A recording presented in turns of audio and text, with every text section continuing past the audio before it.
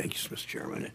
Uh, Two American heroes sitting in front of us, so thank you both for serving in slightly different capacities, but serving this country, so thank you. Uh, uh, Thank you, Mr. Chairman. Uh, Chairman mentioned the PACT Act, as, as did Senator Duckworth. Uh, When we talked earlier, Ms. Bradsher, on the phone, uh, you told me about a conversation with a young veteran, a woman whom you met in a store, who told you that she, quote, "used to be a veteran." Talk, talk to us, if you would, how we help ensure that veterans, particularly uh, women veterans, understand the VA is there for them. I've heard just, I hear repeatedly from people from, from the roundtables I do in the PACT Act that, well, somebody else deserves it more than I do. I don't really need these benefits. So talk about that. Thank you, Senator.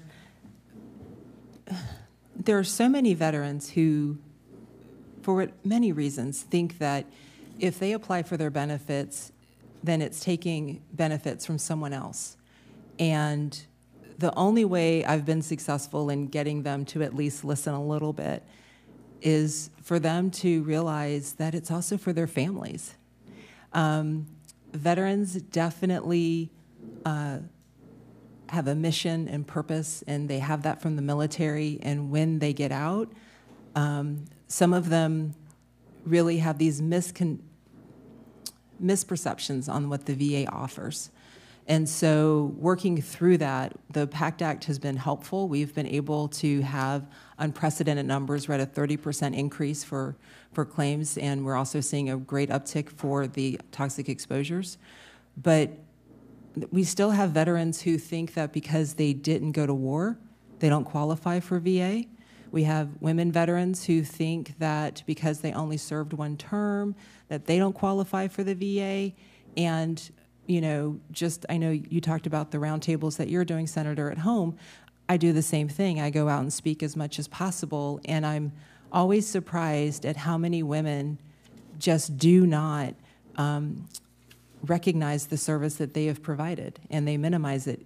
And so um, it is definitely a challenge. But even um, I did a, a roundtable at church and I had a gentleman who um, had a Navy hat on.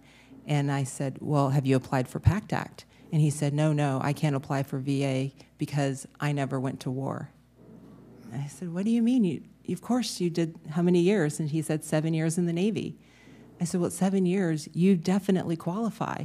But even, and I won't mention any of the members, even staff who have served here, who have deployed to Kuwait, didn't realize that her time in Kuwait, even though she's a guardsman, qualifies her for PACT Act.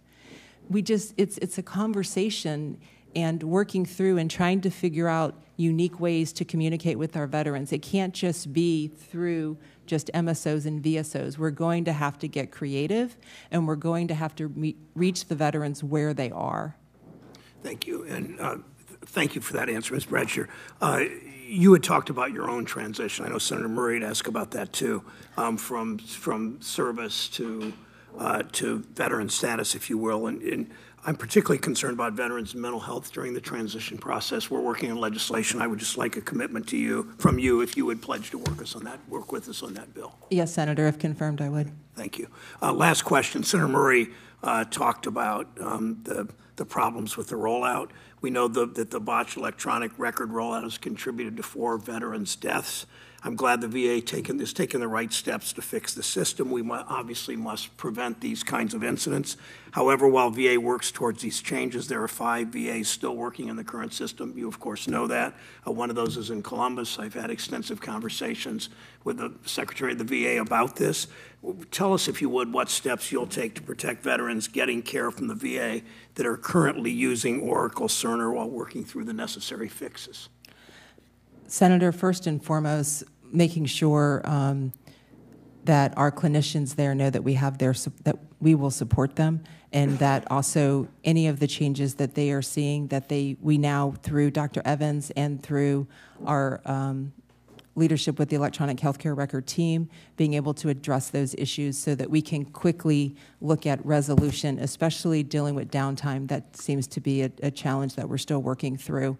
So, uh, keeping those open lines of communication, making sure those five locations have the support that they need to be able to continue to execute to take care of our veterans, because that's the most important mission that we have. Thank you, Mr. Chairman. Thank you, and Senator Hassan. Thank you.